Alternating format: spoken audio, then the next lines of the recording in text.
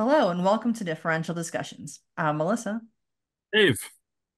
And today we're back with our guest series where we are going to talk to LaShanta Brice about DCLS, being a DCLS, going through DCLS program, all the good stuff. So, LaShanta, welcome. Can you just tell us your story? Everyone, as I've been introduced, my name is LaShanta Brice, but some of you that are listening might not know that name. Actually, my last name before I started as a practitioner, DCLS, was Smart. So my maiden name is actually LaShanta Smart. Um, so lots of people know me as Sean and several other names, but um, I have a an interesting story. At least I think it's interesting. Um, I started my career um, as a military brat. So I did not stay in one place for a very long period of time. In fact, I did not get the the good end of moving for the military. Uh, most of the time, we moved uh, during during uh, times when I needed to actually have a stable set of friends. So, like, think about uh, middle school into high school. Nope, you're moving. Um, so ultimately, my uh, journey ended in Virginia.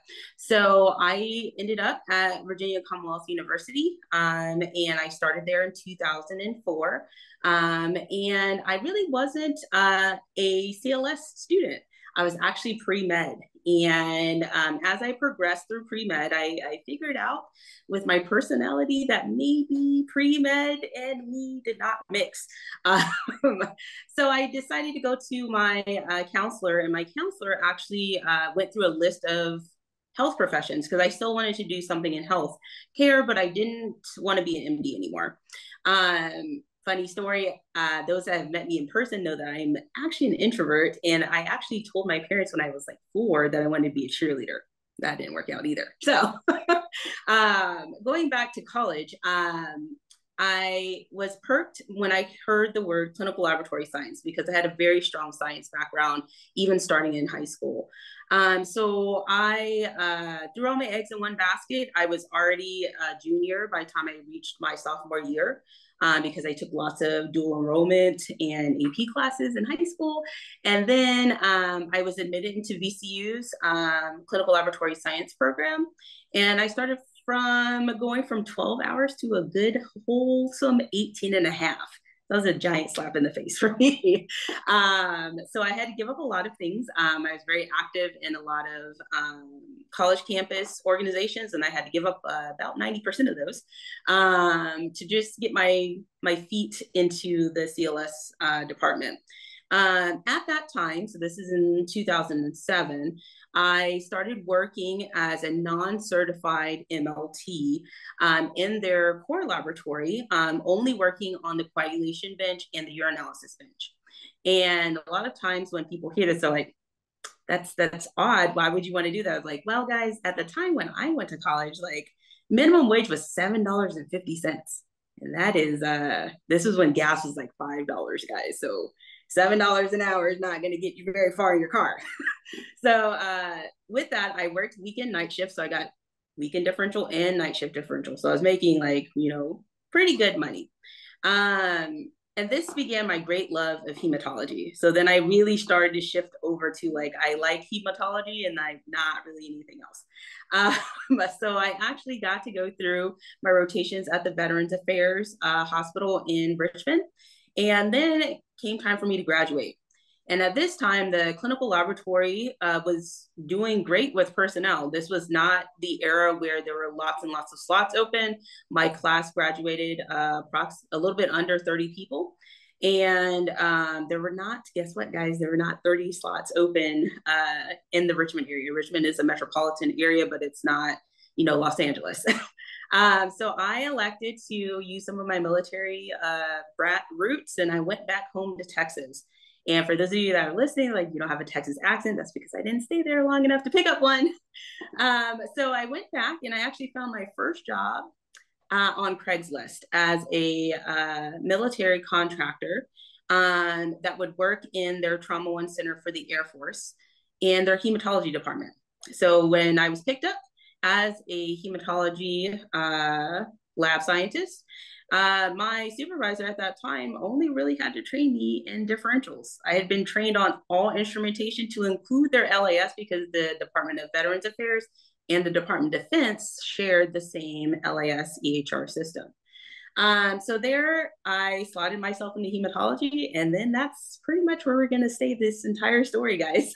I stayed in hematology, and uh, and about nine months in, I was asked um, to potentially apply for civil service civil service position. So that means that I'm going to enter in back into the federal system. Fun fact, I actually worked for the federal system at the age of 16 at Quantico um, under the DECA system, which is the uh, group that runs their uh, grocery store, uh, which is called a commissary. Um, so I had about a year of experience um, working as a federal employee um, from the age of 16 to 17. Um, and now I'm going to potentially go back in. So I was hired back in to the federal system. And then I started uh, pretty much running with hematology. Um, I began teaching uh, military phase two students um, at the bench level. Um, their didactic was uh, taught by a separate group. And then, uh, so we've heard my story that I didn't uh, in particularly like moving a lot. Um, at year four, the uh, government decided to do some changing. So this resulted in an act called the Base Realignment and Closure Act. In San Antonio, which is where I landed at, um, there were several bases that were open. Due to the Base Realignment and Closure Act, that meant that they were going to start closing some of the bases. And this also meant sweeping changes for healthcare for the military. This resulted in me actually being transferred to the US Army Trauma One Center. So, uh, of note, I had just bought a house um, that was approximately 10 minutes away from the hospital. And now I went from 10 minutes to a 45 minute commute. um, so, in February of 2012, in the middle of one of my cycles uh, for teaching for the Air Force, I was transferred to the United States Army's hospital known as Brooke Army Medical Center, which is the Department of Defense's only Trauma One center um, after the Base Realignment and Closure Act. So once I got there, I was expected to teach um, immediately. So I went from teaching Air Force students only over to teaching Army and Navy students. And it was quite different. So if any of my students are listening, you very much know what I'm talking about. I went from teaching uh, mostly bench um, procedures to teaching both didactic and bench. Um, I was sent over in an emergent state. Um, one of my coworkers was going out on emergency leave, which is why I had to leave in the middle of a cycle. Um, so I did that for a long period of time. About 50% of my duties were uh, assigned to teaching, and 50% were assigned to uh, working in the laboratory. Um, during this, I was also promoted, um, and then I was expected to be a lead right from jump. And I had no lead experience, guys, zero. Um, I had been teaching and working the bench. So I didn't know how to write an SOP. Uh, I didn't know how to do quality control review. I didn't know how to do really anything except like run instrumentation and read differentials. um, so it was a, a, quick learning curve, but I was up to the task. Um, and during this time, I decided uh, maybe I should get an advanced degree. So I went back to school again. Um, so I took uh, a little bit of a tour getting this one done because I was working full time this time and not just weekend nights. Um, and I enrolled at University of Southern Mississippi um, into their medical laboratory science master's degree program because I really thought I wanted to be a teacher. Um, and about four years in, so there's going to be this pattern of four guys. Uh, four years in, um, I was going to get my teaching duties decreased um, in favor of hiring a full time instructor. So I would remain the backup instructor, and then I would shift from about 50 50 to like 90 10. So 90% in the laboratory and 10% teaching duties. Um, so I graduated in 2014 with a master's degree, and then I thought, well, you know, I made a promise to be a doctor, but maybe not a physician. Um, so at that point, I still did not want to go to med school at all. Um, but I still wanted to add the, the title doctorate um, in my educational journey. So I entered into an EDD program, um, and it was in uh, nursing pedagogy. So I am a lab scientist, a true lover of hematology. My whole entire career is going to be spent in hematology. And when I got to that program, I was very unhappy.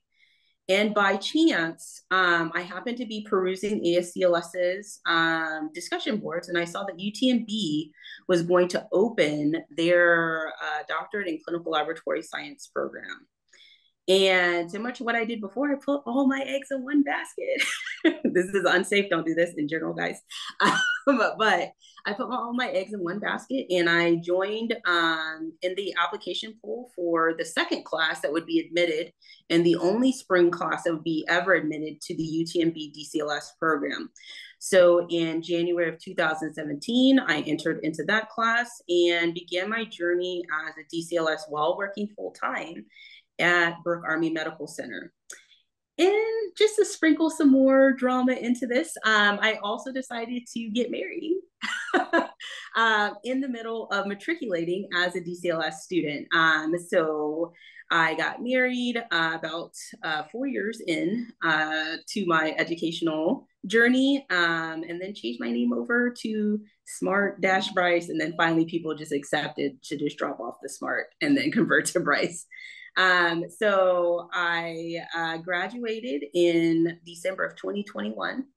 Um, and then I uh, joined Diagnostica Stago, but we'll stop here and let's let's ask some questions about kind of how we got from Brooke Army Medical Center as a hematology scientist over to IVD um, in coagulation. All right.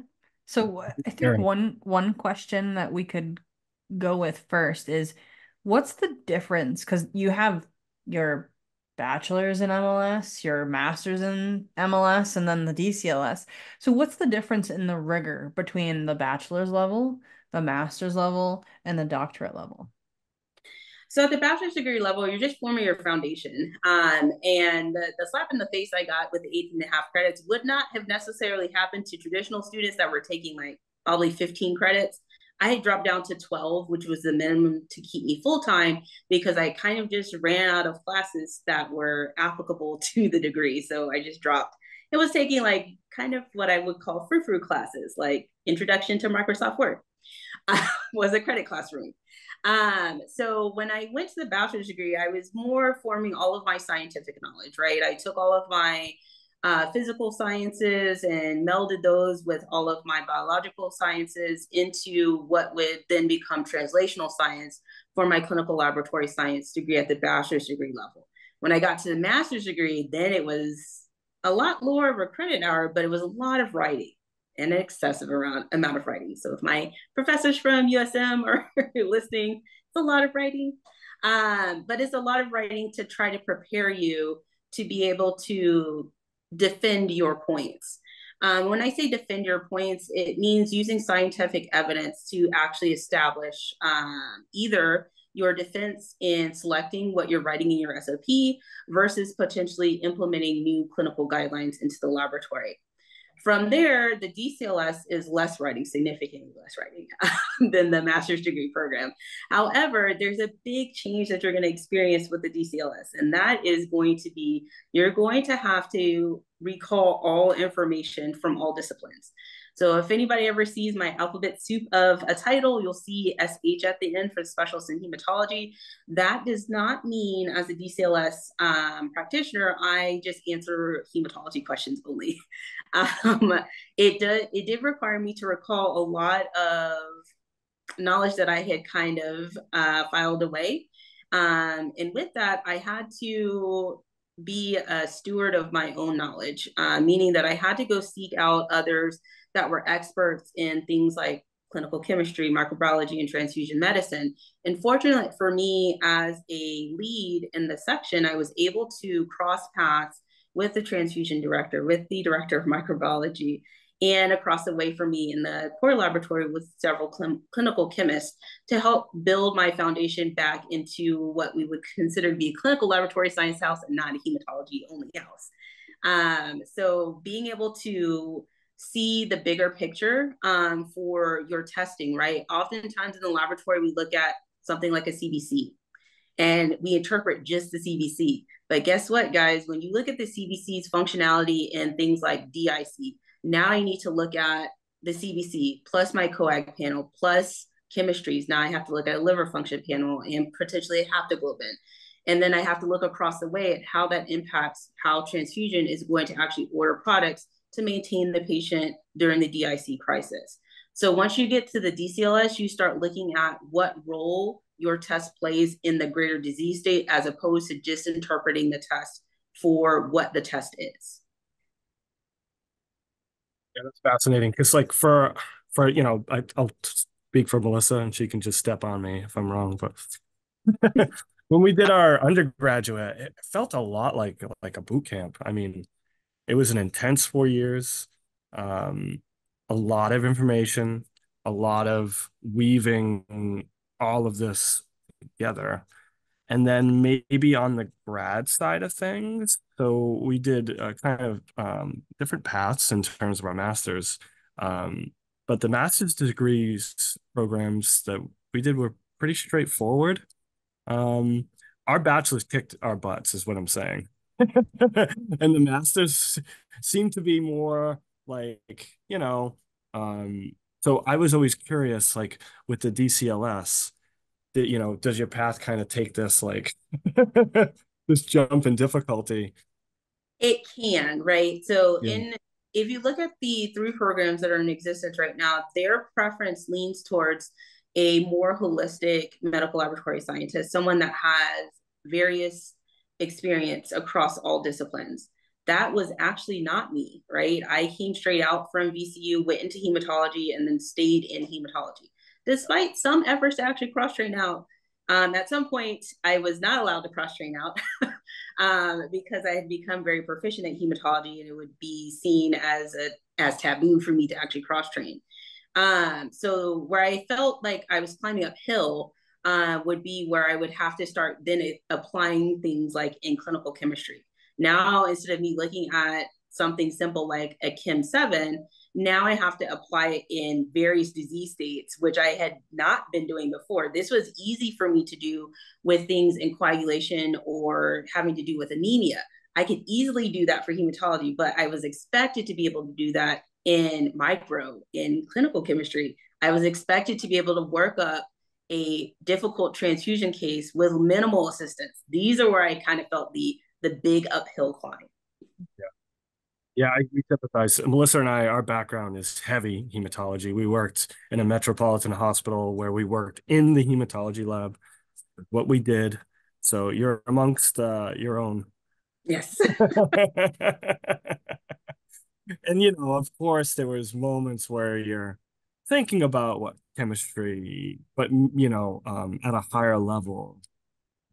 Yeah, you just don't you don't get it right. And, um, that's funny. So it prefer it's preferential towards a generalist, it seems, right? It would it would benefit you. So oftentimes people ask like, well, what would you have done different? I was like, well, maybe I I could have started off as maybe a generalist, um, and that would have not you know had the tears that we cried in biochem, uh, because now we're trying to recall beyond just learning basic biochemistry and now having to apply it to like real patient scenarios. Um, fortunately, like I said, making friends with directors was really helpful because then when I had residents, um, or when they had residents, I could converse with them and say, like, hey, I have a patient here in residency where I'm at, and I need some some further interpretation. This is not my strong suit. Uh, what resources can I help? Can I look at to help me along the way? I would never be a, a person that would ask, like, hey, can you give me the answer? because that doesn't help me in the end and it certainly doesn't help the patient um, because then i i'm not really helping the patient i'm having someone else be a surrogate to help so it was again incumbent upon me to recognize where i had faults and i had done this way earlier as a bachelor's degree student. Um, when i came back to speak at the university as an alumni the current cls students would ask like well how do you study for the registry? I'm like well i think at some point like really when you get to like technically the last year, you should probably know at that point whether you are in a generalist mindset where you know a little bit about everything or if you've leaned too heavy into one discipline. if you are in group B where you've leaned too heavy into one discipline, it's a, it's incumbent upon you to then rearrange your study schedule to actually accommodate for those weaknesses, right? So when I got ready for the registry, I'm not studying hematology, guys. Um, we're gonna have to do a lot of heavy lifting for like clinical chemistry and micro because those were, you know, areas where I was not as strong. And a lot of people are like, you say not as strong, but you you have like a solid B. I was like, yeah, guys, but a solid B in a class does not necessarily mean that you're able to recall enough information to pass your registry. So it, it's all about knowing yourself and learning yourself before you get to the point where you then have to demonstrate your knowledge. Yeah, it's kind of like minimizing weaknesses, right? Like just yeah. trying those to find, yeah. You know, it's wise words. Students pay attention. Uh, yes. well, so when you start a DCLS program, you were saying that it was kind of expected that you had all of the knowledge already. So when you come in, you're expected to already have that like hematology, chemistry knowledge. So what are you learning? What sort of classes are you taking in a DCLS program if you're not relearning theory? So now you have to do application of theory. So that's why it's incumbent upon you to have the generalist knowledge.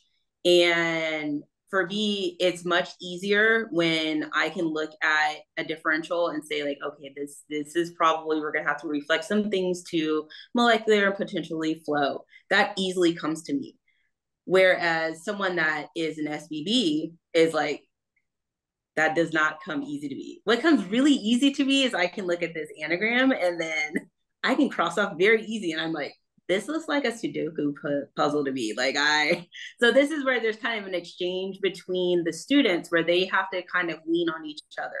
So the SBBs will help the non-SBBs in those situations, and the SHs, the SCs, and the SMs will then step up to help in their respective disciplines. So at that point, when you are asking like, you know, how do I interpret a sodium? The baseline is that you already know where the sodium lies that is already in a CMP or that's in the Chem 7, that they don't have to teach you the methodology of the sodium, that you already know that there are going to be some pre interferences. They're not there to teach you that part.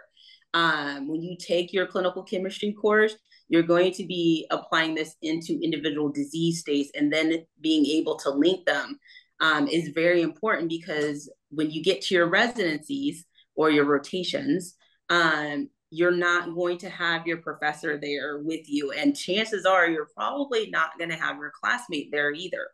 Um, so when you're sent into residency, um, you are expected to be able to help the rounding team on your own. So if you don't have that foundational knowledge, it behooves the DCLS student to either seek out mentors or folks that can help them with that foundational knowledge um, and especially understand it while they're matriculating through their application uh, application classes. You brought up something really interesting for me. So you talked about the sbbs and the shs and so would you say in the um, if, if you don't mind me asking how many people were in your uh, cohort of the dcls so the cohort for us was was the weird class. So our class um, was named the Gemini right. class because we were a merge of the very first group that was admitted plus our class that was admitted in the spring. So in just the spring class, originally there were I think 14 people that were admitted. However, through uh, as they progressed through the didactic part where they had to start doing a lot of application, we did have some attrition. Um, so in the end, we really ended up with probably 10 people that continued through um, to get to the first residency. Um, when I got to the first residency, um, the first residency for me was what I would consider to be like grand rounds pathology, where you're not going to the floors, right? So we we've given you all this didactic information, but we're not ready to send you to the floor yet um, which is good because we want to make sure that you have a really strong foundation. So we're going to keep you in the pathology suite, but you're going to still go through each of the disciplines. Um, in there, unfortunately, my class, uh, my split of the cohort ended up in Team A and Team B. I was on Team B, and Team B had four SBBs on it. Well, that's not great for me because uh, this now means that, you know, oftentimes I made this mistake in high school, right? Um, when you're learning to drive, the instructor would ask, Hey, who's never driven a stick? And I just popped my hand up. I was like, dumb. I that was a dumb mistake. Because as soon as you do that, your instructor like, you're gonna be the first person that drives a stick.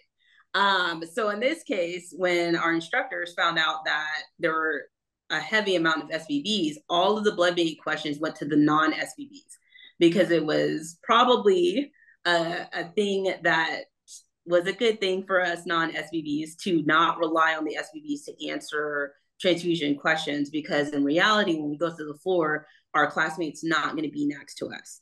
Um, so could they have split it up a little bit better? I think so, but I think it was just probably random draw uh, where they just put everybody's name in a bag and I just happened to be in the group with all the SBBs.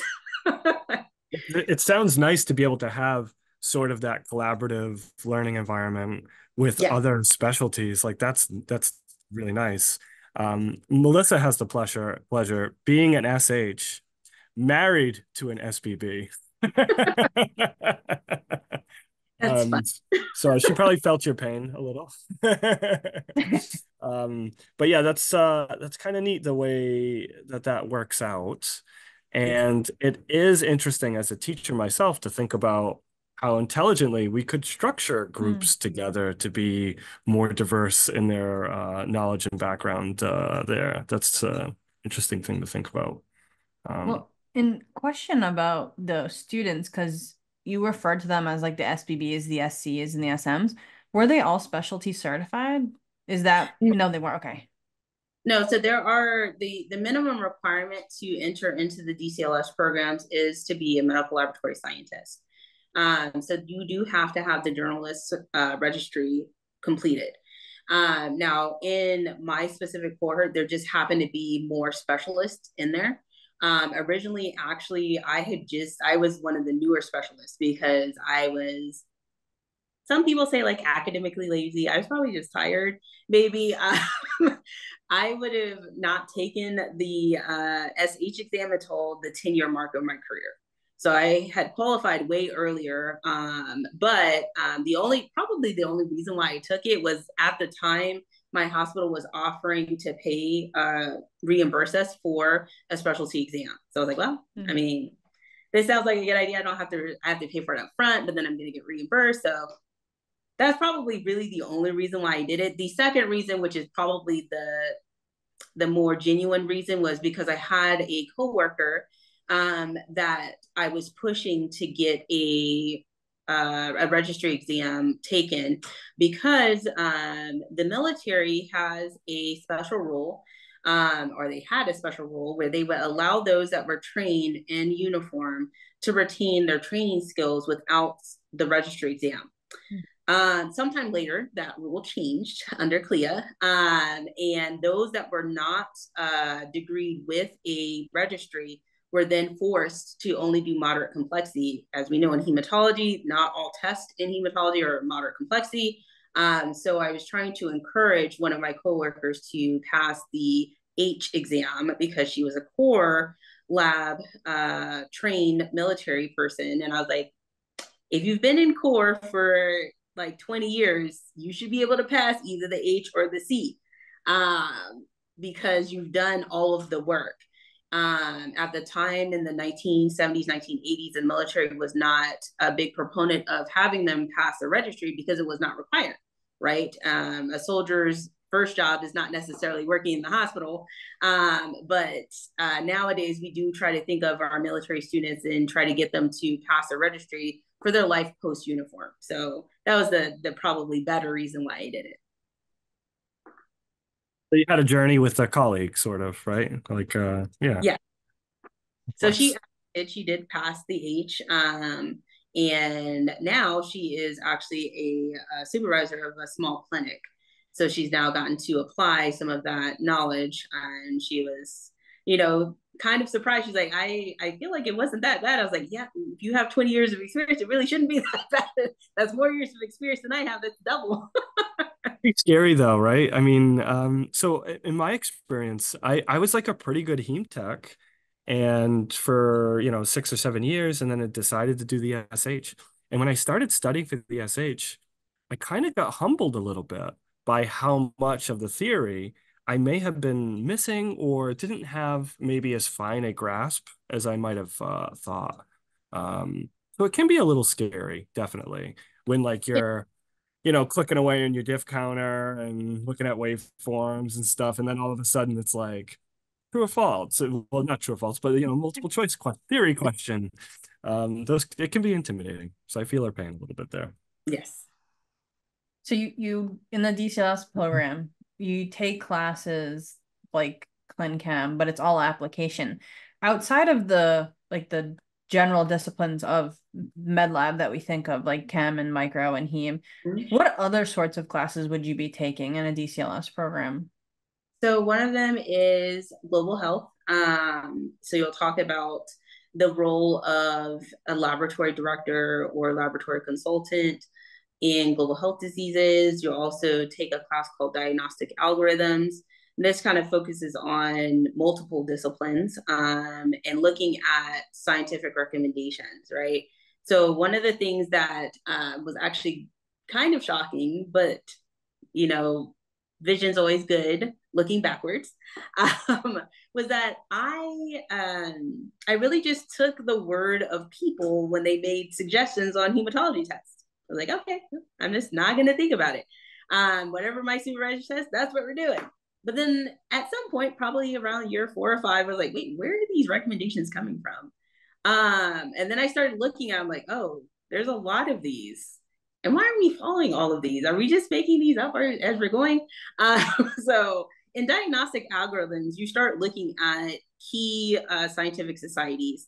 And specifically for hematology, we started looking at things like ISTH um, for the International Society on Thrombosis and Hemostasis, or ISLH for uh, the International Society on Laboratory Hematology, and their recommendations, um, and then developing algorithms from there.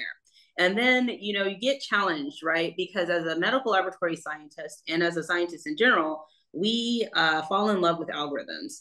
But then as a DCLS, you kind of get uh, a quick reality check on why those algorithms might not work in practice.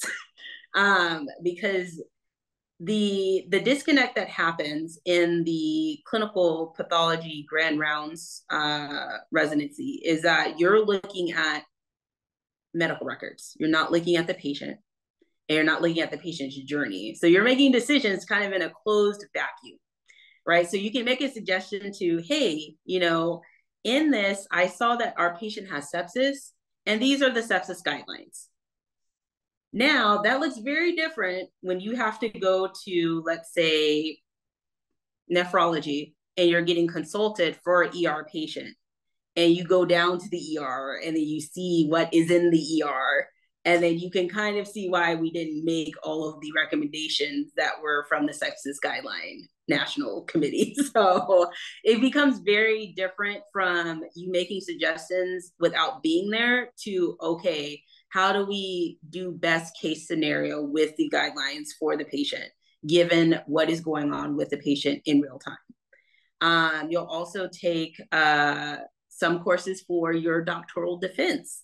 So, as part of the second class that was admitted ever, um, there were some changes that were made um, during the matriculation of the first, second, third, and fourth classes. Um, the first class, um, which was not my class, they actually had to take pharmacology and pathophysiology together. I'm like, that is a terrible idea. Um, so in, in theory, it looks good, right? Those two are very closely linked. But in reality, that's a bad idea for like most students to try to cram into one class for one oh, semester. Yeah. The material was just significant, right? For both. Yes. Yeah, yeah, yeah, yeah. So by and pharmacology being something we're not particularly yeah. Yeah. So you do need some pharmacology because you're going to be going to uh, your second rotation is uh, internal medicine, which is like pretty much you know internally managing medication. Um, so you do need pharmacology, but you needed to it to be a separate class. Um, so by the time my class got to the part where you would take that, I'm like, hey guys, I'm not doing that. I think we should split it. We should really campaign to split the class. So um, by the time we got there, it was split into one class for pathophysiology, one class for pharmacology, which was very beneficial for me because as a master's degree student, I had already taken pathophysiology. Um, so I just got to take pharmacology. Um, so that was a, a good thing that they were able to shift their program according to the pa- the not patients, the students' needs. Sometimes are patients, maybe. Um, the other the big change was molecular diagnostics. So we know that in the laboratory uh, and in the educational sector, we have a pretty big diverse group of generations that are present in the clinical laboratory. And depending on where you were in the evolution of the clinical laboratory, that kind of determined where your knowledge of molecular diagnostics laid at. So when I went through rotation for molecular diagnostics for me was literally being in the prep room only. So I didn't really learn any theory on molecular diagnostics. Now, fast forward about 10 years, now I have to be able to interpret methodologies for molecular diagnostics. And now my class is now called Advanced Molecular Diagnostics. I'm like, I don't, I feel like we're not going to pass that. To be honest, like molecular diagnostics was not even a, a place where a graduate could even dream about working at without at least five to eight years of experience. Um, so I think I need a, a gentler version of molecular diagnostics. And uh, lo and behold, once we said that, um, several of us said that, and the uh, split was made. Advanced molecular diagnostics was still an option because we had SMs that were uh, in the group, so they were fine with taking advanced. And the uh, other people that were a little deficient, like myself, we elected to take introduction to molecular diagnostics with the master's degree students. Um, and this would teach us like basic things like setting up a gel, like really like what you would consider to be more of a graduate course and not a doctoral graduate course. And I think that was permissible for us because most of the things that we're going to be doing are more towards the big four disciplines and not leaned towards molecular. That does not mean that we don't have to have any molecular knowledge. Um, certainly, molecular is very hot topic for a lot of our microbiology tests now. However, like the expectation is for us to be at least knowledgeable at that point, and simply taking advanced was going to put us in a predicament where uh, you're allowed to get one C, guys. Uh, and you might want to strategically decide where you want to get your C at. um, and if you are a person that happens to have other deficits other than molecular, um, it might not be feasible for you to take more than one C. It's not setting you up for success either, right? I mean, yeah. it just, uh, yeah. So I appreciate that. So thank you uh, UTMB for the, the introduction to molecular diagnostics.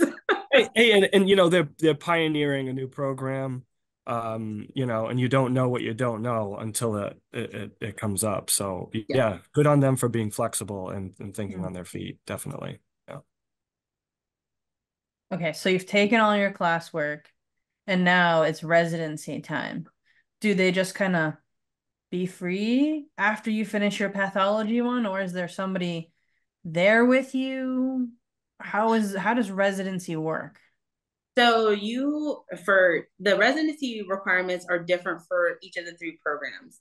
So for UTMB, you are required to complete four, and I call them residencies because uh, most of us are not from the Galveston area, so we have to, you know, live there.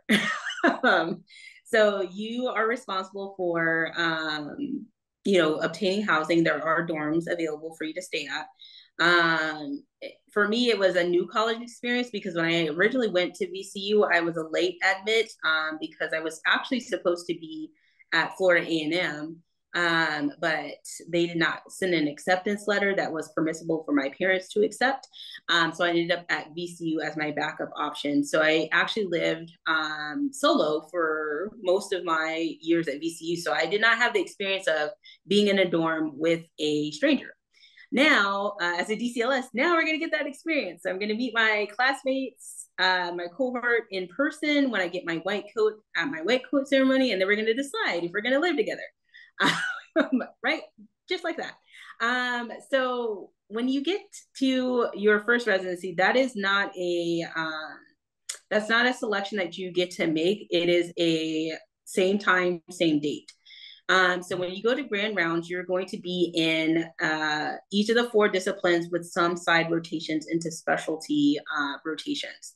So you'll be doing things in clinical chemistry like clinical toxicology uh, reports. In coagulation slash hematology, you'll mostly be doing uh, diagnostic management team reports for coagulation cases, and these are going to be complex, more leaning towards the more complex thrombophilia, lupus anticoagulant, um, genetic type of diseases. Um, in molecular um, slash micro, you'll be doing a mix of plate rounds plus patient reports. And then in transfusion, you'll be doing complex transfusion reports.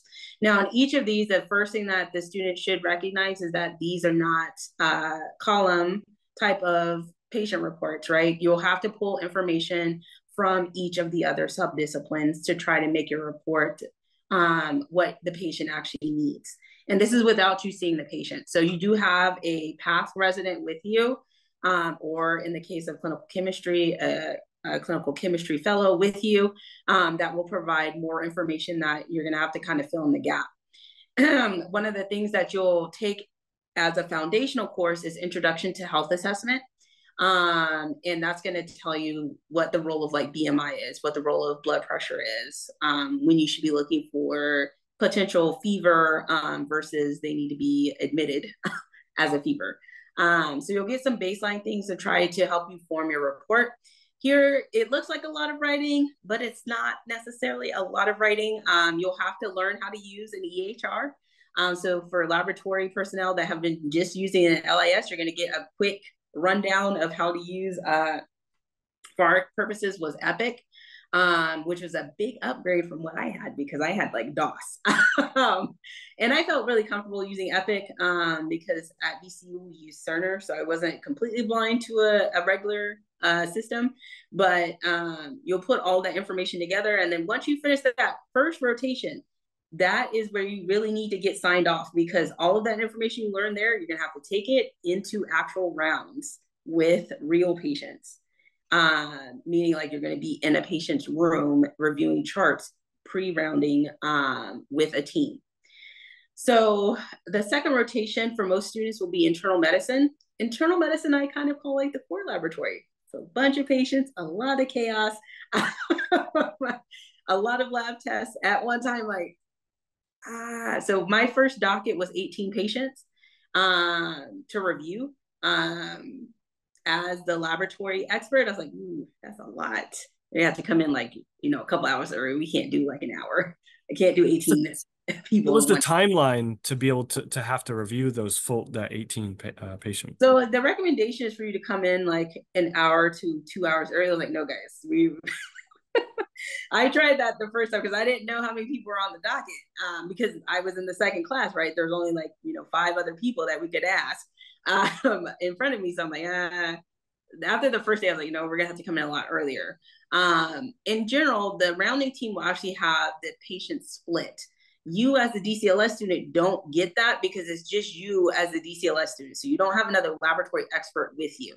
That is not to say you can't consult other people, but you don't have a physical person with you. So um, if you're on a large uh, rounding team, then you're going to have to come in a little bit earlier to help review some of the laboratory uh, test utilization. One of the roles that the DCLS student can play is educational. Um, there are a lot of times where we see weird things that are unnecessary uh, that cause you to question patient blood management. Um, so we'll see orders like a CBC and then an H and H. I'm like, that's the so uh, instead of telling you that you are not correct, I need to understand what you what your intent is. Are we monitoring for anemia? Are we potentially monitoring post transfusion? Are we monitoring for leukemia? Um, because we've also seen the other thing where a person has been diagnosed with leukemia and they are in internal medicine um, because the hemonc ward is full. And then I see an order flip to H&H. I'm like, hmm, maybe, maybe we change that back to a CBC uh, with a diff. so um, one of the things that you'll be doing as a DCLS student is a lot of education and a lot of test utilization. This is why diagnostic algorithms becomes really important and knowing when a test is appropriate and when it's not appropriate. And then sometimes some interpretation issues. Um, so, for example, in molecular, when we look at antigen testing, um, and then we keep ordering the same thing without any significant intervention happening, um, there, there are some opportunities for education. Um, me specifically, I did get to do a couple of courses on the coagulation cascade. Um, and uh, at the time, um, before joining Stago, my uh, supervisor, we had Stago equipment at my hospital, and the sales rep had actually left a bunch of educational um, slide rollers. And these slide rollers literally tell you if what the anticoagulant effect is on a test. And I was like, you know what? I'm gonna bring some of these with me because when I leave, the residents and the medical students, they're not going to remember all of the things that I said about ordering appropriately when a patient is on an anticoagulant and the effect. So this is easy for them. They can put it in their lab coat pocket or in their white coat and they can pull it out and say, okay, what did LaShanta say about ordering this test and the patient is on a direct oral anticoagulant? Um, now they can look and see, okay, this is going to be falsely elevated. Maybe I should consider um, either telling the laboratory that the patient is on a DOAC, um, or I may need to consider potentially uh, discontinuing the direct oral anticoagulant um, in favor of testing and then recontinuing post testing. Um, so you'll get to do a lot of educational um, things, and then you'll also get it's a two way street. You'll also learn some educational things. You'll realize where the laboratory fits in in the healthcare system. Instead of you viewing us as the black box where we just throw out numbers, um, you then realize where you fit in into not only the healthcare of the patient, but the education of the medical student, the intern, and the resident. Um, so you'll get to um, go on some adventures with the residents, medical students, and the interns. Um, so I got to go to some of their USMLE classes. This is what they're going to study for their STEP exam. And I was like, that is a lot, guys. It is a lot of information. This is why it's very difficult for them to understand test utilization because they have so much that they just have to memorize just to get to the next step in their medical career. I'm like, so how do we, this caused me to think as an educator, how do we do a little bit better with trying to educate them about the importance of test utilization for each of the disciplines, right? So simply telling them that you're incorrect for ordering a CBC and H&H is not sufficient. You have to tell them what the impact is. Like explain to them the um, campaign of patient blood management, right? We're we're transfusing your patient, but you're over here drawing like multiple times on like Q6 or Q4 every six hours or every four hours as CBC and an H&H, but you're not getting different information. And then what to do with the discrepancies, right? I got an H&H that looks like the person's anemic, and then the CBC says they're not. I'm like, so let's talk about pre-analytical variables today. um, so you get to do a lot of education um, in each of your rotations. So um, I did, unfortunately, rotate during COVID. So um, I had to do a special rotation. Um, so I was on track to go to antepartum. And um, as the story would go, I had some difficulty because I was a bone marrow tech. And um, during the COVID wave, a lot of people thought it's going to be over soon. I was like, not to me, the realist. I was like, this is not going to be over soon. We're going to be in uh, in a predicament when we have to go do bone marrow bedside assist um, because we were not prepared, right? We we were, you know, functioning as if COVID didn't exist, um, where we were, you know, reporting to patients' rooms with our own scrubs on. No problem, right? Not when you are in an isolation room and then you're going to a COVID room. That is a no-no. So then we had to switch from hospital scrubs, uh, switch from our scrubs to hospital scrubs, then to N95 masks, then to full isolation. Then when it came to residency, UTMB had a very strict policy. If there was any exposure to COVID and you were a inbound resident, you were to be isolated. And right before I was to go to antepartum residency, I went on a bone marrow bedside assist for a COVID positive patient. And I was removed from residency immediately. Um, even though I was full PPE, you could probably just see my glasses through the shield on top of the other goggles. Um, so there's minimal risk of exposure, but I was still removed from residency at that point. So then um, UTMB was quick on their feet. I was remixed into a different antepartum group, and then I did a special rotation um, into ANA interpretation and special coagulation interpretation. Um, so that was fun. Um, in that group, I got to teach um, about weak D um, and why you should question if your patient went from Rh positive to Rh negative or vice versa, um, and why you shouldn't always just blindly uh, trust the result that you get from an outside hospital. Uh, so we went kind of very surface level into reagent uh, sensitivity and specificity for weak D. Um, and they were, you know, kind of shocked, like everybody doesn't use the same thing. I was like, guys, um, so healthcare wise, laboratories have budgets. So like here, you have really great reagents at an outside hospital that might be like the only hospital for like a 250 mile radius. They might have to just, you know, do with what budget they have. And they might accidentally create a scenario where you get a different um, RH grouping with your patient um, because that's where your patient could get care at. Um, so it was something that opened their eyes to like maybe they should have more communication with the laboratory services than what they're doing at the current moment. And then I took a chance. Uh, the program put me in as a first cardiology uh, residency student. so I went from antepartum over to uh, cardiology and got to do all of the things I love about all things anticoagulation, except got to apply it in a lot of uh, cases of heart failure. Um, and doing a lot of aspirin work um, and a lot of point of care testing. So a lot of different discipline mixes. Um, these residencies are spaced out. So after your first one, which is the one that you can't pick the date, you have to pick when you're going to do residency. And that pick has to coincide somewhat with when you're going to do your doctoral defense project. So you have to time balance. So imagine like you're working full time, like I was, and you're going to potentially start doing your defense project research. You're gonna have to be really, really careful about your timing because yes, there are students that go through and say, like, I want to do all four residencies at one time. I'm like, that employer must be really nice because giving you four months off at a time is really nice. Um, but the the balance part is important because you would need to know where you're going to do your research at, whether you're going to do it at your home institution or if you're going to elect to do it at UTMB. Um, and you'll need to select what you're going to do your research on. And if you can actually complete your residency while doing that research, like you can have someone else collect data points for you, or if you need to be the person that collects all of your data points. So it's a lot of things that in the background, while you're doing these residencies, you're also taking doctoral defense project classes to prepare you for your doctoral defense.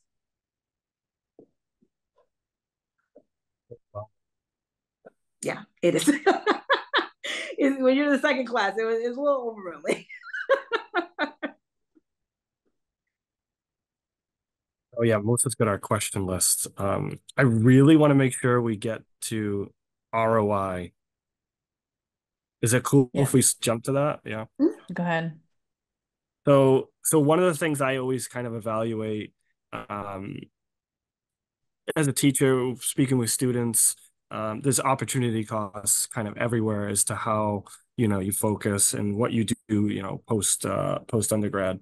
Um, in terms of the DCLS and your personal experience, what kind of a return on that investment in both time and money, energy, right? Um, do you see in um, hospital work? And then now, again, obviously, you're working for Stago, which is awesome, right? That's cool. Um, how has the DCLS made you a more attractive candidate in different roles? And yeah. So, um, small background on the story, right? I started off as a heme lead, and um, my supervisor very early on selected me to take her place. And much of the leadership knew that. However, um, leadership was split on pathology leadership and clinical laboratory leadership. In the core laboratory, there is a heavy focus on clinical chemistry and not so much on hematology. and with some good reason, right? Our our number of samples is not as plentiful Um, and in the environment I was in, I was doing a lot of things in the hematology lab and outside the hematology lab. I was on a test utilization committee. I was on the family care medicine line committee. I was also a member of the anticoagulation subcommittee for the hospital. Um, and because of that, my attractiveness started to grow outside of the laboratory very quickly. Um, and that kind of rubbed some of the leadership in the clinical laboratory the wrong way. Um, because there was a, a, focus on ensuring the con- continuity of the clinical laboratory. And there was a big focus on making me shift to stay inside of the laboratory, which I was very much resistant to. So, um, when I thought about what I wanted to do, my goal was very much I wanted to be the hematology supervisor. That was my goal. Even as a DCLS, I still wanted to be the hematology supervisor because for me, military health was very important. Both of my parents are US Army veterans, and I was raised as a military child. Most of my family is actually uh, military connected. And it was an environment that I owed much of my childhood. And uh, of course, some of my college debt was paid off by uh, the military as well. So I felt like I wanted to stay there. And I kept charging towards that goal. But at some point, there was a question of like, well, if it's this hard, maybe we try something else. Um, so because I knew that my supervisor was going to select me as her uh, replacement, I knew that there were going to be some risks with that. And part of that was going to be loss of knowledge on, at the bench level um, in exchange for going to the supervisory position. So because of that, I started to think about how can I replace my brain on the floor without like you know, doing lots and lots of overtime. um, so I was trying to think ahead and I was like, well, automation is kind of a new thing in the hematology space compared to clinical chemistry. And I started to think about where my knowledge would be most lost at. And there are two big sections. One of them was bone marrow. I was like, wow, I have to physically replace a person with that. I can't do automation for that. The second place was special coagulation. Um, special coagulation, I could kind of fix that. Um, so I I started to try to develop a set of rules within the Stago software to replace actions that I would just inherently do on my own with no type of like no type of prompt. I was like, okay, well, I, I've done this a lot of times, at least twice with Sysmex, um, writing rules on the hematology side because without rules, it's a lot of clicking. So I in coagulation, there's less clicking, but still important clicking that has to occur. So I was like, okay, let me reach out to Diagnostica Stago and have them help me um, write rules in their system. Um, and that perked the attention of Diagnostica Stago. Then I made it more complex. I read a paper from ISTH from Dr. Devreese on developing a lupus anticoagulant algorithm that would launch the test based on ratios that were predetermined in the system. So it was going to be not machine learning, right, guys? So it's not going to do something different. It's going to be based off of a cutoff. So then that perked more people's attention. Um, so then the head of the scientific uh, marketing team at the time, Dr. Paul Riley, came to San Antonio um, to come speak to me about the development of this algorithm. So this was a key meeting that would occur. Later on, a technical support services position would come open for San Antonio. And I was still matriculating as a DCLS student, so I had no intention of leaving the hospital um, at that point, I was like, well, maybe I should, you know, just do an interview. It's been like 10 years. I haven't done an interview. So um, the regional director from Arkansas came to San Antonio and spoke to me in a private uh, conference room. And she said, you know what? I've heard a lot of things about you, but I'm going to be very honest with you. I think that you are better fit for a different position. I was like, okay. So that was the only thing that this lady said to me. A little while later, she gave me the name of the position, and it was the Scientific Engagement and Clinical Education Associate for Diagnostica Stago. That position was written for a PhD or an MD, so not a DCLS. However, um, I applied for it and I was interviewed. This was during my fourth and final residency for cardiology. And uh, I was offered the position. However, my husband did not want to move to New Jersey. He's like, no. I was like, okay, well, I declined the job. I was like, okay. So at that point, that this opened the door, right? This cracked the door a little bit. I was like, well, if I can get another job, why haven't I been exploring other options? Right. I still really wanted the hematology position. However, the NIH contacted me. Several other people started to reach out to me. NIH reached out to me. Tripler, uh, Army Medical Center out in Hawaii reached out, as well as UTMB themselves, um, asking if I would consider going to a specialty coag supervisor position. I was like, now, like, I'm a pragmatic person, right? I'm vying for this hematology position, which, are, which would require me to do hematology, coagulation, and flow cytometry. And these other folks are just asking me to do one section. So maybe, maybe that would be a better idea. So I approached my husband, who also said, no, we're not moving. I was like, okay, so that's not great. Um, so at this time, I'm getting ready to graduate. And I'm actually the interim supervisor during these interviews. So I'm now in running for the position. Well, uh, during this, I actually have a cap inspection that occurs while I'm the interim, and I had been gone to residency, and a mistake happens. And it's a big mistake. It's a phase two uh, mistake that uh, actually impacted several hundred patient data points for PT INR. And um, I was very upset um, about it. And this is when the crack became very big. Because when I approached leadership, I was like, hey guys, this is a big deal because INRs for Coumadin patients are used to dose their Coumadin. And since this is several hundred points, um, I can't necessarily look at all of the patient records to determine if there has been patient harm, like there has been either underdosing or overdosing of a, uh, a, a causing an adverse drug effect. Uh, so clinical laboratory leadership looked at me like bewildered, like they had never heard of an ADE. I'm like, that is a like I know I know we don't deal with the FDA in the core lab, but an ADE would be an FDA-ish issue. Um, so this caused me to really ponder. I'm like, is this how things are going to be where I'm not going to have leadership that is knowledgeable about clinical impact to a patient? And if so, can me as a solo person fill that educational gap, or is this something that is considered to be a sinking ship? So my question would be answered in the summer, where we would do a Cerner conversion to a change to our LAS and EHR. I was like, oh, okay, that's good. We're getting a new system. We're not using DOS anymore. But then I found out I was going to be the only pilot for hematology, flow cytometry, uh, apheresis, anatomic pathology for hematology, and flow cytometry. I was like, so then I went back to my leadership. I said, hey guys, have you been on an airplane recently?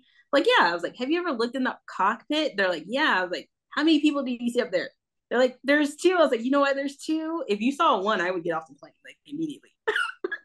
because if you only have one person, you are taking a big risk because you are now assuming that nothing will happen to me, right? Are you going to say, you're saying you're going to quit? I was like, I mean, that's a potential. I mean, that is a, a, real thing that can happen or any other variable things could happen to me right? Um i could have you know i can get pregnant i could have something happen to a family member like anything could happen to me where i'm not available and this is not a good idea. They're like oh yeah speaking of not good ideas we're also going to give you a sysmex project conversion as well. As like all right so and and mind you this is now a third interim that's in the in place this so is now as a supervisor. Is that is that, that accurate? Hmm? This is as a supervisor position, right? Is it? No, I I've now gone back to being the lead. There's another interim that is now in place. during this. So there is no actual supervisor in the section. There's just interims that have gone in. So now I'm like, oh, this is not going to be great because we don't have an acting supervisor. Um, we have an interim. And now we're doing a, a EHR conversion plus a Sysmex conversion project um, in the middle of the EHR conversion project. And um, it's questionable if I'm going to get the supervisor position, right? So we selected a third interim. So um, in the middle of this, the clinical chemistry supervisor leaves. She vacates. Um, so I was like, okay, this is not looking great, guys. So we're getting a little, we're getting a little worried here. Um, so at this time in September of 2021, so I've missed graduation outright. So I had to deal with the cap inspection. So I missed my graduation defense date. My chair actually reached reached out to me in September of 2021, and she has a very harsh conversation with me. Uh, more, she calls it a reality checks conversation. I call it a harsh conversation, um, where she says that um, she has gotten fed up with me um, not making it to graduation. At this point, I have mentored a student that's an active duty soldier who came in about two years after me, and he's now in the graduating class, and I'm not. um, so at this point, my ROI looks questionable because now I'm going to be in a semester without actually matriculation. So I'm just in hold. So I have to pay to stay in the university to graduate, but I'm not actually doing any classes at this point. So ROI looks questionable for me. I'm like, well, I really want to graduate, but I keep getting boulders kind of placed in front of me. Um, so she has a harsh conversation with me. Um, and she says, uh, if you do not make it to defense as of December 2021, I will withdraw as your chair and you will partially start over. I was like, ooh, no, that's not, I don't want to do that. um, so now I have to have a conversation with leadership. Um, and this time I approached pathology leadership and I uh, tell them, I was like, I really want to graduate. Like, I understand I'm needed here in the hospital, but this is a goal of mine. I I want to graduate. I put in the work. My chair is threatening to withdraw if I do not progress this semester. So, in towards the end of September 2021, the group of uh, core lab staff and I decided to go to what was then called AACC. Um, and right before that, I got a phone call from Diagnostica Stago. They called back and said, Hey, are you still interested in that scientific engagement and clinical education associate position? I was like, Yes, because I have no progression towards supervisor right now. So, yes. So they uh, fly me to Newark and I come to the US office and interview um, with the marketing and scientific affairs team. And um, I also interview with uh, the CEO of the company. And uh, they offer me, re offer the job to me as a hybrid position. So now I'm like, all right, husband, so hybrid. So I'm gonna still stay here in San Antonio. I just have to go other places occasionally. Um, so he's like, I think, I think this is a good fit for you. So then I take the the contract and then I look at it and I start crying because I'm like, okay, this is now the first time in like 15 years I have to make a decision on employment and I don't know what to do. Like, I don't want to leave my staff members. I also want to graduate. so I take it to my three heme paths who are my mentors and they look at the contract, look at me, look at the contract. They're like, we think you should sign this immediately. I was like, you don't want me to be the supervisor? Like, if we were being going to be selfish, we, we would keep you forever. However, we know that what you do in the hospital, you can do so much more. You can educate so many other people with what you know inside of your head. And we can't guarantee you that we can shield you forever because, right, we tried to help you to get to graduation. You saw what happened. Like, yes, I did. Um, So uh, there's a caveat on my contract that says I have to graduate uh, as of December 2021. I was like, ooh, well, it's time to start buckling down, guys. Um, so I put my head down. I'm like, I'm just gonna grind out, guys. Uh, I'll do what I can for the EHR conversion project, but I have to get to graduation. So I go to the AACC conference, and about a week later, I get promoted to the supervisor. So now we have an ethics question. So all the students that are listening and all the other laboratory professionals, what would you do, right? You have a job offer in your hand, but it has a conditional on it. You have to graduate. You've been promoted to supervisor, albeit after the vacation of the chemistry supervisor, questionably. so, what do you do now? Do you A, keep the supervisor position and hope that you graduate? B, sign the contract and keep the supervisor position? Well, guess what, guys? We signed with B. So I kept my supervisor position um, because there was no guarantee that I was going to graduate, guys. So ethically speaking, I felt very terrible about this because there was a good chance that I was going to leave, but there was also a chance that I was not going to graduate. This was based on the fact that I didn't graduate the last semester. Um, ROI was I needed to graduate because I don't want to keep paying to sit in class and not actually uh, get to graduation.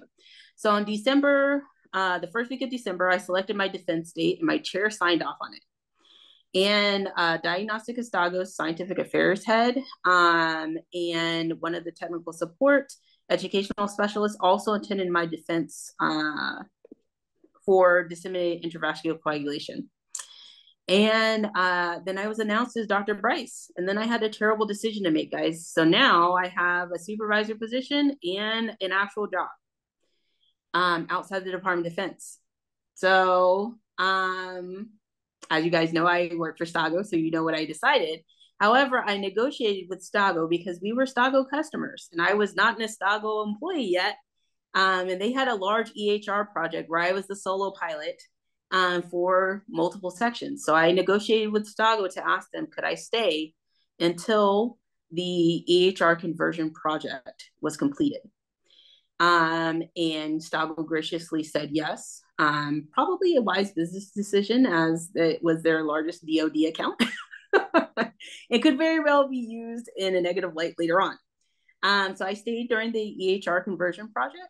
And then after that conversion project was completed, I started my adventure as a scientific engagement and clinical education associate at first, um, where I started using all of my uh, skills as an educator within the laboratory and then outside of the laboratory by teaching medical students, interns, and residents about coagulation. And now I get paid to do that for multiple hospitals across the United States and Canada with some highlights overseas as well. So, so, so far I've done the National Blood Clotting Alliance where I did a patient educational series on antiphospholipid syndrome. I've also done several interviews um, with ADLM, which was formerly AACC, about the role of the DCLS in industry on their clinical, not clinical, corporate advisory board, um, about where the DCLS can go um, outside the hospital, right? Because a lot of times we think the DCLS should be inside the hospital, but what happens if you take all of that knowledge that you learn from residency, all of your MLS skills, and all of your skills that you learned just teaching medical laboratory professionals, and then you applied it across the entire United, United States and Canada with the ability to actually do webinars on things like what do I do when my quality control doesn't work in coagulation? It's not Russian roulette, guys. That's the wrong answer. So That's fascinating. So this position was contingent upon your DCLS. So Graduate. long, yeah, long story short, right? Like, um, it was all or nothing there. Um, I just wanted to try to support you a little bit. I think you made the best decision for you. And I would generally encourage friends, uh, people watching, they should always make the best decision for for themselves and their family. Yes. And um, I you seem like a kind-hearted, thoughtful person. I appreciate very much that you cared about what happened in the lab that you, you know, you grew up in, you know, and and um, but you got to do what's best for number one. Um, so you made the right decision. and um, interestingly um, enough, um, actually, guys, when I first declined that position, uh, Dr. Riley actually got in contact with the program director for the DCLS program and sent that job description out to my cohort, my classmates, because they really wanted once they learned about what the DCLS was, they really wanted a DCLS for that position. Um, so, so that's great to to hear actually, because yeah. that's what I wanted to see. Because this seems like such a um, it's somewhat novel, right? I guess it's like it's sort it's um, so because I, I, wanted to look at the role of a DCLS as it could be in a hospital. How do hospitals kind of view DCLS? And then what is industry care? And it's fascinating for you to kind of segue into that naturally. That industry really does care about this. Yes, because one of the things that happened um, was my first year was learning, right? And now I'm I'm outside the hospital, right? So now I gotta decompress, right? Because I've been in the core laboratory where everything's like stat, stat, stat, stat, stat, stat. And now they're like, okay, now you have to learn how to project manage with actual time to do the project, not you have a compressed like one week to do a lot of things at one time. So um, my first year, I learned a lot of things, and a lot of industry partners have what are called clinical advisory boards. And those boards are made up of clinicians, primarily for IVD um, partners. They are made up of pathologists. And I got to sit in for two of those boards as a fly on the wall. And one of the things I've learned was was the clinical advisory board the only option that an IVD company should use to develop their products, right? So the clinical advisory board gives information about what is going on in the clinical space with your assays, right? So when we think about coagulation, where we saw the what we call the death of Coumadin, um, in favor of direct oral anticoagulants. And we, when I talk to students about this, I say, you know, remember when we first saw commercials on Xarelto, it would always say like no laboratory testing necessary. And now you don't see that uh, highlighted in the commercial anymore because we found out that there are some scenarios where we might actually need to be cognizant of what uh, the drug level is for the direct oral anticoagulant. Um, so your clinical advisory board, they're really good at being investigators or detectives for that because they can talk to their clinical partners about where the anticoagulation scene is going, right? Mm-hmm. So we look at, you know, what is the next thing that's going to come up. But then when we look at what the IVD company offers, if you are a company that does reagents, consumables, and instrumentation, pathologists aren't the users of those things. so um, when I would ask questions that were, albeit what they would call technical questions, which we would not consider to be technical questions, I would get varied answers. And sometimes they were kind of like off the wall answers. Like when I asked how long a stat would take, they would say like four to six hours. I'm like, the core laboratory did four to six hours. People would like pick it the entire core lab. but the reason why I asked that question was to try to gauge where their knowledge was about what goes on in their clinical laboratories. What I found out was is that they are kind of disconnected from the process. So after year one, the the uh, young man that interviewed me, which was the CEO of the company, uh, I went to him and I said, I would like to do a proposal. And my supervisor at that time was like, It's been a year and you're already shooting at the CEO for a proposal. I was like, Well, yes, I think it's important, right? Because I've been a long time user. Um, however, I think that we need what we would call a voice of customer, or as I've aptly named it, a voice of a laboratorian. So we have a clinical advisory board where we fly these individuals into the headquarters office. We uh, have a whole meeting with them and we talk about all things in the clinical space. What if we did that for a group of laboratorians? And before I say this whole proposal, I want to do I do want to tell you that I have a plan in mind where I don't want um what we will call creme de la creme, right? I don't want a bunch of laboratorians from very large medical institutions. I want a diverse group. I want a DCLS. I want a PhD clinical chemist that's friendly towards coagulation. Um, I want someone that is at a rural hospital, someone that has VA or DOD experience. I want a plethora of experience, and they don't they don't have to be Stago users. I, in fact, I don't want them to all be Stago users.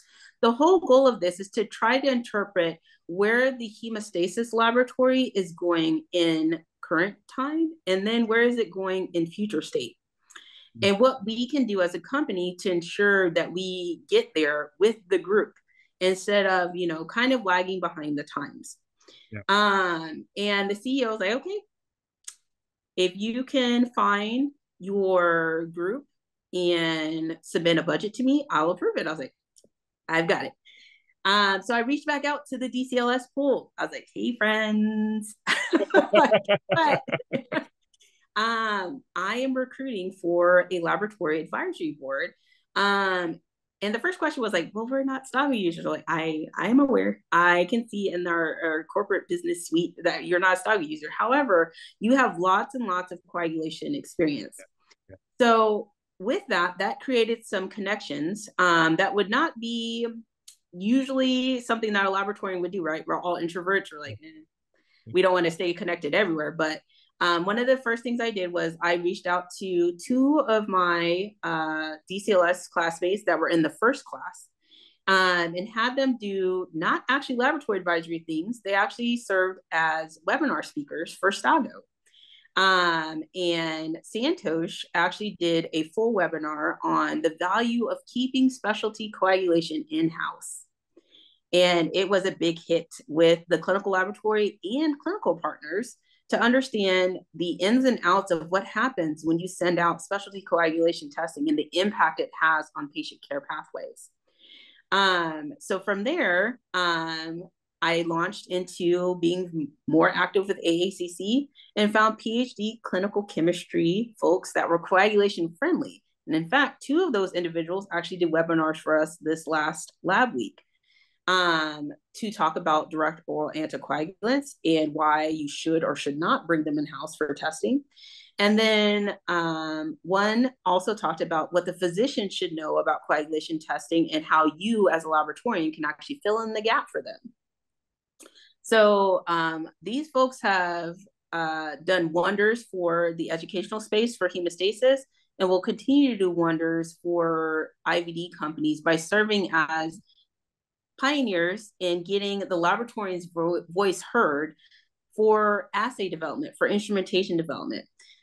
From there, then I asked about, well, what happens if we, you know, kind of impact FDA studies? And they're like, wait, wait, wait, that's too far. I was like, no, no, nope. I'm not trying to, I'm not trying to be the the uh, PI for an FDA study. What I am saying is that maybe we take this same concept and we do what is kind of called a pre-market for an FDA assay, but a pre-market for you as the developer of the assay. Get the opinion of a real life laboratory on an assay, and then you can kind of design your study based off of the feedback of those of those individuals, right? Let's say you're doing an assay in research and development and it works perfect. Sensitivity is great, specificity is great, and then we launch it and the clinical laboratory is like, we hate this. There's a lot of issues with this. It sucks on proficiency testing. like, well, how about we do those steps before we design a whole FDA study that is going to do very well because you're in a space where nothing happens. And like I'm telling you guys right now, as a long time uh, person in the core laboratory, that is not what happens. Like I can walk in the at 7 a.m. and like nine things will happen to me before I cross the threshold. so imagine you want your assay to work, but those nine things then still occur to the individual that has to do the assay. I think these are things we have to take in consideration. And uh, the marketing team kind of looked like that's a really good way to think about things because sometimes we give the the laboratory something that they didn't ask for. I was like, because we don't ask. yep. A solution looking for a problem, right? And then yes. yeah. Yeah. No, that's that's very insightful. And I think laboratorians generally our opinions get overlooked because of that introvert, like you, you know, you brought up. Um, so bringing us in, yes. you know, pulling us into the equation is integral. Um, that's awesome. I didn't even think about that application. And it, these are not things I would have thought about, like how to remain solely in the laboratory, not on the the grand scale that it is now. Um, and this also led to me talking about the difference between the PhD versus the DCLS, right? So Stago is very fortunate where they have Dr. Riley as a PhD and me as a DCLS. And we act as a seesaw, right? Dr. Riley will oftentimes give us this like really great idea. And my whole job, and he will like shake his head and say, that is a terrible way to present that. I was like, my whole job is to give you a reality check. Does that theory work in reality? Like from from a practical standpoint, he's like, can you rephrase? I was like, think of it as you are a researcher, right? Your degree is based in basic research, basic science research. The MLS, even the MLS, not necessarily just the DCLS, the MLS is your translational scientist. We make what you want as your idea into practice. And the DCLS makes it so that we can tell you in practice does this work on both sides? Does this work for the clinical laboratory? And then does this actually meet the need of the clinician? Like a lot of times we think about an assay and then we kind of stop, right? Where we think about anti 10A, we know it's far better at monitoring heparin, but then you're thinking of it in the closed space of the clinical laboratory. You have to be able to educate pharmacy, the clinicians, about developing a nomogram to actually make it into practice. It does no good to implement a test in the clinical laboratory, but the actual people that are the interested parties don't know anything about it. Yeah. So our goal yeah. is not to educate just the clinical laboratory, is to educate the clinical laboratory to be educators about their assay and champions on what is best practice so that they can ensure good patient care. That was an incredibly insightful way to put it. Thank you. Yeah. That's cool. This has been fantastic. I think we learned a lot about not only the differences between, you know, the bachelor's, the master's, and the, the doctorate level, but I think we learned a lot about what you can do with the DCLS because this is kind of stuff that I mean, Dave and I haven't thought of that, and I'm sure a lot of other people haven't thought of it either. So, Lashanta, we really appreciate you taking the time to come on our show and share your experience with all of us. I greatly appreciate the invite. I, like I said, I am a lover of all things hematology. I'm friendly towards the other disciplines, but my great love is for hematology. You're in great company here. Oh. and everybody else, thanks for watching. Yeah, thanks for your time. Thank you.